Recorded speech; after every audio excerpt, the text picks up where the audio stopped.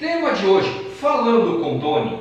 Eu, apresentador e também jornalista de Vinhedo, convido você, mulher. A sua opinião será muito importante para o nosso programa. Eu, Doni Per, vou estar na terça-feira, dia 21, entrevistando a advogada doutora Gabriele, falando de um tema muito especial, misoginia, ódio. O feminicídio se alastrou pelo país e pelo mundo inteiro. Por que, que as mulheres estão sendo assassinadas pelos seus próprios companheiros? O Brasil hoje ocupa o quinto lugar mundial no crime chamado feminicídio, que é um crime que é cometido contra a mulher no fato dela ser mulher.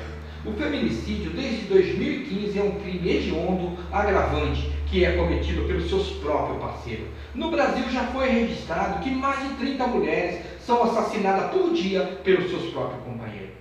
Por que tanto ódio, rancor no, coração? Os homens estão violentando, assassinando suas próprias companheiras. Sua opinião, então, terça-feira será muito importante para nós no nosso programa Falando com Doni.